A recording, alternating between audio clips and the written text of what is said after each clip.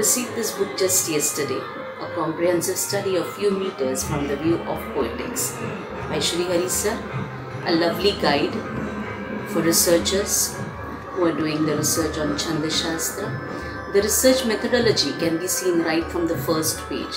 Went through first few chapters and came out very helpful to me. Thank you.